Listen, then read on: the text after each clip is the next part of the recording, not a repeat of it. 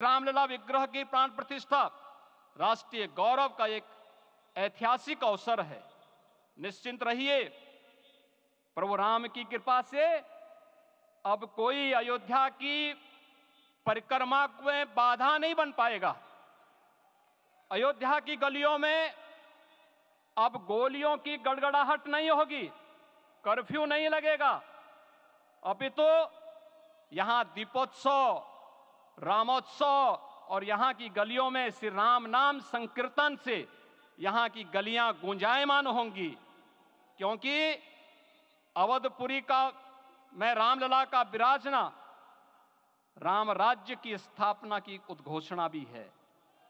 राम राज्य बैठे त्रिलोका, हर्षित भये गए सब शोका।